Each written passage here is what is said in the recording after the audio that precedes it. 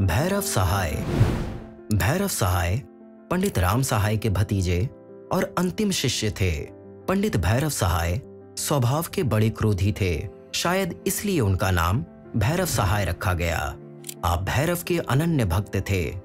वाराणसी के नीची बाग में स्थित श्री आस भैरव का दर्शन आप नित्य प्रतिदिन किया करते थे।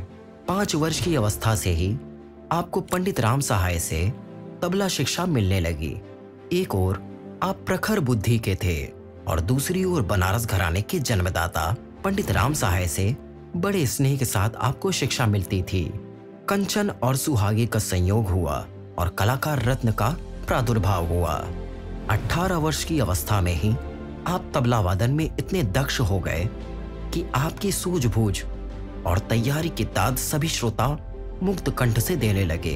कायदे और पेशकारी की बढ़त में आपकी कुशलता, तैयारी और प्राकृतिक प्रतिभा झलकती थी। इसी कारण आपको लोग कायदे का सम्राट कहने लगे थे।